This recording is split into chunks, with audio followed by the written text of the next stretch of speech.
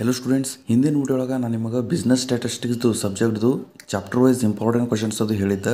ಅದಕ್ಕೆ ಇವತ್ತಿನ ವಿಡಿಯೊಳಗೆ ನಾ ಯಾವ ಸಬ್ಜೆಕ್ಟ್ ಹೇಳೋದಿದ್ದೀನಿ ಅಂತೇಳಿ ನಿಮಗೆ ತಮ್ಮನೇ ನೋಡೋಣನೇ ಗೊತ್ತಾಗಿರಬೇಕು. ಹೌದು, ಇವತ್ತಿನ ವಿಡಿಯೊಳಗೆ ನಾನು ನಿಮ್ಗೆ ಕಾರ್ಪೊರೇಟ್ ಅಕೌಂಟಿಂಗ್ ಸಬ್ಜೆಕ್ಟ್ದು ಇಂಪಾರ್ಟೆಂಟ್ ಕ್ವಶನ್ಸ್ ಹೇಳೋದಿದ್ದೀನಿ ನೋಡ್ರಿ, ಹಿಂದೇನು ಬಿಸ್ನೆಸ್ ಸ್ಟ್ಯಾಟಿಸ್ಟಿಕ್ಸ್ದು ವಿಡಿಯೋಸ್ ಅದು ಬಿಟ್ಟು ನೋಡು ಪಿ ವಿಡಿಯೋಸ್ ನೋಡ್ರಿ chapter wise important question ಬಿಟ್ಟಿನಿ.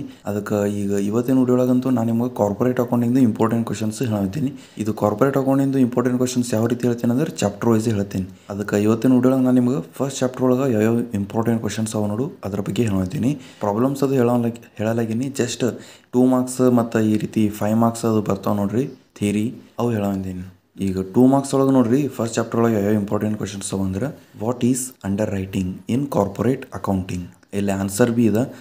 Underwriting in corporate accounting refers to the process by which an underwriter assesses the financial risk associated with issuing securities such as stocks or bonds on behalf of a company. The underwriter evaluates the financial health and protect the company and determine the level of risk involved in the securities offering. ಇದು first question ಆಯಿತು next ಈಗ second question ಯಾವ್ದು ಅಂದ್ರೆ expand S E B I S C B I ಇದು full form ಕೇಳ್ಯಾರ answer ಇಲ್ಲೇ ಇದೆ S C B I stands for Securities and Exchange Board of India ಇದು ಎಸ್ ಸಿ ಬಿ ಐದು ಫುಲ್ ಫಾರ್ಮ್ ಅದ. Next ಈಗ ನೆಕ್ಸ್ಟ್ ನೋಡ್ರಿ, ಇದು ಯಾವ ರೀತಿ ಇದೆ write any two advantages of underwriter ಯಾವ್ರೇ ಎರಡು ಅಡ್ವಾಂಟೇಜಸ್ ಬರೀ ಅಂತ ಹೇಳಿ ಇದು ಕ್ವಶನ್ ಒಳಗೆ ಹೇಳ್ಯಾರ.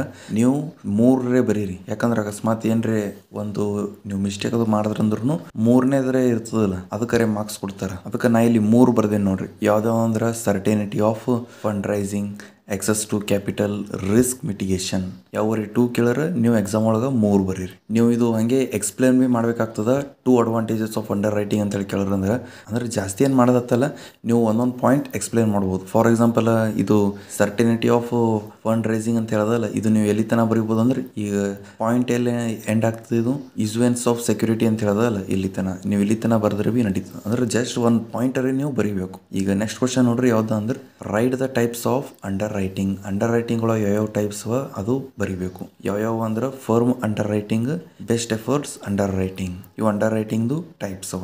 ಈಗ ನೆಕ್ಸ್ಟ್ ಕ್ವಶನ್ ನೋಡ್ರಿ ಯಾವ್ದ ಅಂದ್ರೆ what are marked application marked application is the term used in underwriting of shares and debenture marked application means all those application which are received by company and a mark will show on each each application which identifies a specific underwriter's sale.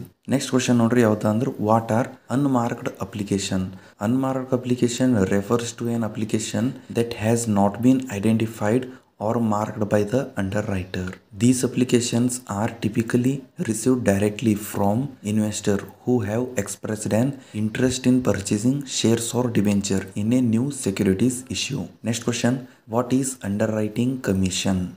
Underwriting commission is the fee that underwriters receive for their services in underwriting a securities offering. The commission is typically calculated as a percentage of the total amount of securities offered and is paid by the issuer of the securities. Next question ನೋಡ್ರಿ, ಏನದ? Write the functions of underwriter ಇದು five marks ಅದ ನೋಡ್ರಿ. ಒಂದೊಂದು ಸಲ ನಿಮಗೆ two marks ಕೇಳ್ಬೋದು. Write the functions of underwriter ಇಲ್ಲಾಂದ್ರೆ write the two functions of underwriter ಈ ರೀತಿನೂ ಕೇಳ್ಬೋದು. ಫೈವ್ ಮಾರ್ಕ್ಸಿಗೂ ಕೇಳ್ಬೋದು. What is underwriting write the functions of underwriter ಈ ರೀತಿನೂ ಕೇಳ್ಬೋದು. ಆ ರೀತಿ ನೀವು ಕೇಳೋರಂದ್ರೆ ಅಂಡರ್ ರೈಟಿಂಗ್ದು ಮೀನಿಂಗ್ ಬರೋಕೆಸಿಂದ ಇಲ್ಲಿ ನಾ ಇವೇನು ಫಂಕ್ಷನ್ಸ್ ಅದು ಬರ್ದೇನೆ ನೋಡು, ನೀವು ಇವೆಲ್ಲ ಎಕ್ಸ್ಪ್ಲೇನ್ ಮಾಡಬೇಕಾಗ್ತದೆ.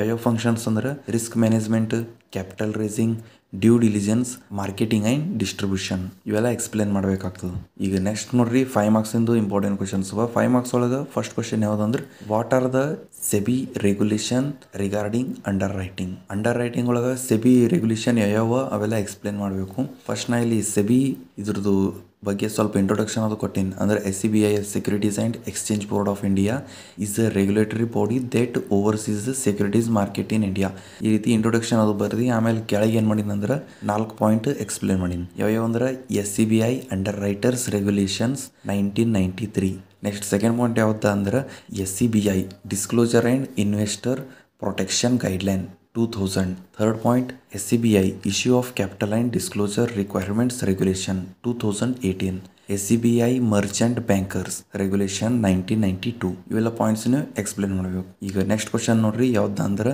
write the advantages of underwriting underwriting has several advantages for companies issuing securities for the and for investor Underwriting has several advantages for companies issuing securities and for investor. Here are some of the key advantages of underwriting. Under advantages ಇಲ್ಲಿ ಕೆಳಗೆ ಹೋಗೋಣ ನೋಡ್ರಿ. Total five advantages ಅವ. ಯಾವ್ಯಾವ ಅಂದ್ರೆ risk management capital raising market expertise investor confidence fee income ಇವೆಲ್ಲ advantages of underwriting ಅವ ನೋಡ್ರಿ, ಇವೆಲ್ಲ ಕ್ವಶನ್ಸ್ ಫಸ್ಟ್ ಚಾಪ್ಟರ್ದು ಇಂಪಾರ್ಟೆಂಟ್ ಕ್ವಶನ್ಸ್ ಅದು.